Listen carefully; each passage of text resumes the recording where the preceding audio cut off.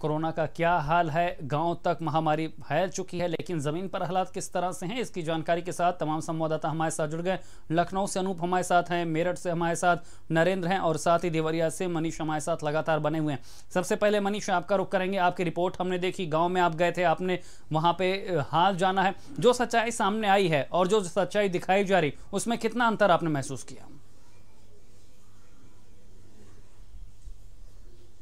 जी देखिए शैलेंद्र, मैं आपको बताऊँगा कि देवरिया जनपद की स्थिति भयावह हो चुकी है। गाँव गाँव में महामारियाँ फैल चुकी हैं। सबसे बड़ी बात मैं आपको बताना चाहूँगा कि जो, जब से पंचायत चुनाव के मतगणना के बाद सबसे ज़्यादा मरीज़ महामारी के मिल रहे हैं गाँव में लगातार मौतों की संख्या बढ़ रही है। मैंने दो दिन पूर्व अभी आपको ये दिखाया था कि एक रुद्रपुर गाँव का बैदा बैदा गाँव है, रुद्रपुर ब्लॉक का। उस गाँव में बारह लोगों की मौत हो चुकी थी। लेकिन वही आज इस कड़ी में मैं देवरिया के भागलपुर ब्लॉक के एक अड़िला गाँव को मैं दिखाना चाहूँगा। जिस तरह से तस्वीरें बयां कर रही है उस गाँव में पंद्रह दिनों के अंदर वहाँ बीस लोगों की मौतें बताई जा रही हैं।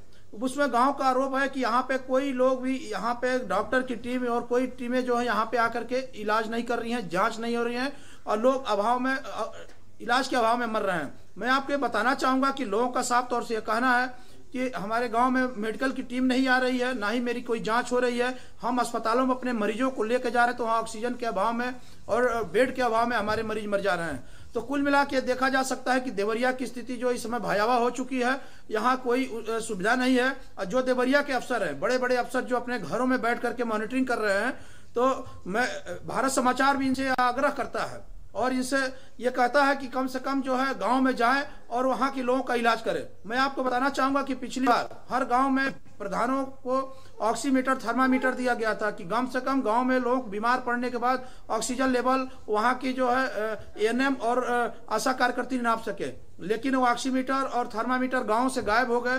किसी का वहाँ ना तो इलाज हो रहा है ना ही तो वहाँ पे किसी का लेवल नापा जा रहा है। मैं आपको बताना चाहूँगा कि जो भी यहाँ की स्थिति है यहाँ हवा हवाई दिखाई दे रही है। ऑक्सीजन की जहाँ तक बात की जाए तो अस्पतालों में देवरिया जिला अस्पताल की स्थिति इस समय बदतर से बद से बदतर है। इस अस्पताल में ऑक्सीजन तो मिल रहे हैं ऑक्सीजन है लेकिन बेड के अभाव में मरीज़ दम तोड़ रहे हैं। यहाँ पे मरीज़ आ रहे हैं और इनको यहाँ से रेफर कर दिया जा रहा है।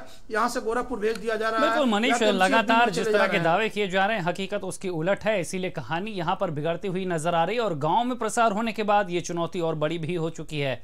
नरेंद्र हमारे साथ मेरठ से लगातार बने हुए नरेंद्र, पहले तो ये बताइए कि पश्चिमी यूपी में आज क्या हालात रहे? किस तरह से वहाँ पर कोरोना की स्थिति अब सामने आ रही? क्योंकि ग्रामीण अंचलों में, खासतौर पर कई जिलों में हमने देखा, चाहे मुजफ्फरनगर की बात कर लें, चाहे सहारनपुर की बात कर लें, बागपत की बात कर लें, हापुड़ की बात कर लें, आंकड़े बहुत डराने वाले सामने आ रहे हैं। और मेरठ मेडिकल कॉलेज में जो हुआ, वो तो शर्मसार करने वाला है। देखिए, जो आंकड़े आ रहे हैं, अब इनमें ये मान के चलिए कि जो देहात के इलाके हैं, वो भी शामिल कर लिए गए हैं। इसीलिए एकदम से ब्लास्ट हो रहे हैं आंकड़े, चाहे वो कोई सा जिला हो। ऐसा ऐसा एक एक गाँव पड़ा हुआ है, जहाँ पर सौ सौ लोग जो है कोरोना पॉजिटिव हैं, बहुत सारे लोगों की मौतें हो गई हैं। लेकिन सबसे बड़ी दिक्कत यह है कि वहाँ पर टेस्ट जो हैं, वो उतनी तादाद में नहीं हो पा रहे, जितनी वहाँ पर ज़रूरत है। इसके अलावा जो दवाएँ हैं, वो भी नहीं पहुँच पा रही। जो गाँव के लोग हैं, वो केवल झोला छाप मरीज़, जो डॉक्टर हैं, उनके ऊपर आश्रित हैं। एक दूसरी बड़ी दिक्कत यह है कि जो तो लगता है यहाँ पर नरेंद्र से हमारा संपर्क टूट गया। अनूप लगातार लखनऊ से हमारे साथ बने हुए अनूप, जिस तरह से अब आंकड़े सामने आ रहे हैं, राजधानी लखनऊ की भी जो हमने तस्वीर देखी कि मृत्यु दर बढ़ चुकी है ग्रामीण अंचलों में भी लगातार कोरोना पैर पसारा। प्रशासन की कवायद तो है, लॉकडाउन तो यहाँ पर है, लेकिन उसका पालन सख्ती से नहीं हो रहा, जिसकी वजह से संक्रमण की समस्या बढ़ती जा रही।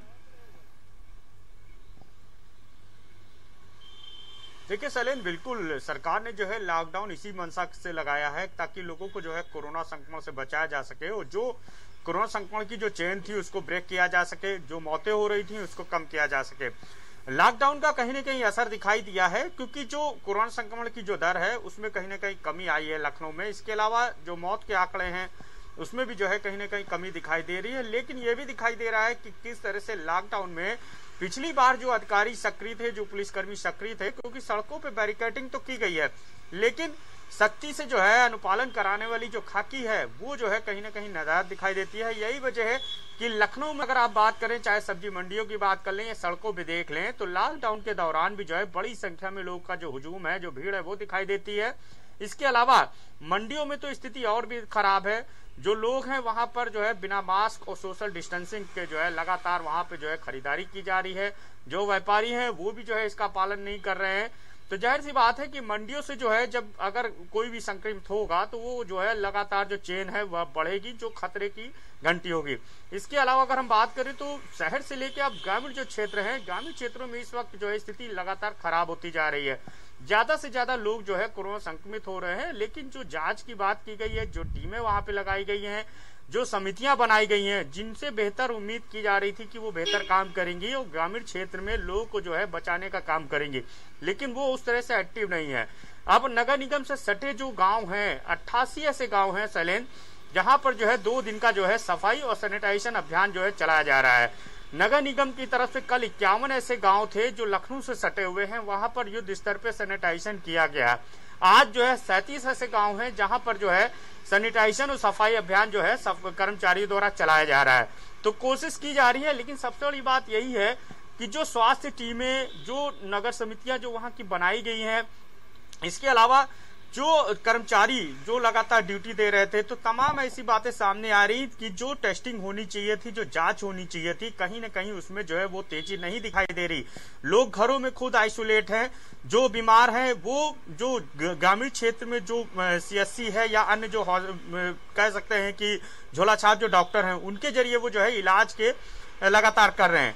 लेकिन सरकार की तरफ़ से जो टीमें बनाई गए हैं उनका जो बेहतर प्रभाव जो दिखना चाहिए जो उनकी कार्यशैली दिखनी चाहिए बिल्कुल अनूप जो जिम्मेदार थे अगर वो इस जंग को इतनी गंभीरता से लड़ते तो शायद यहाँ पर ये स्थिति न होती लेकिन चुनौती यही है कि जिनको ज़िम्मेदारी सौंपी गई थी वो यहाँ पर थके हारे पहले ही नज़र आ रहे हैं। मनीष हमारे साथ देवरिया से लगातार बने हुए हैं।